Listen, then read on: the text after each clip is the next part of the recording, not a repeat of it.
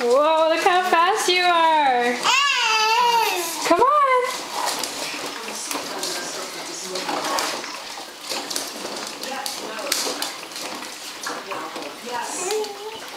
Yay!